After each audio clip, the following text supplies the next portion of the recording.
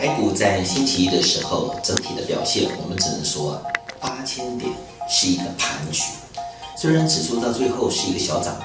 看起来呢，比亚洲地区其他的股市来的略微好一点，但是整体的成交量不大。在收盘前，本来只有六百六十六亿的成交量，最后尾盘五分钟啊，多了四十三亿去做价，才有七百零九亿。整个盘市这么焦灼，个别股票它就变成两极化的选股。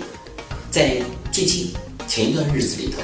很多的资金跑到了传统产业的这种呃中小型个股，但是今天出现大跌的状况，包括像纺织股这几个，如虹啊，什么明旺石、巨阳，今天通通都是大跌的，跌幅惨重，甚至在之前涨到三百多块。越日车创历史新高的价格，今天盘中也杀到一根跌停板，这个气氛就开始转弱。但是今天呢，高价电子股当中啊，转强的仍然有啊，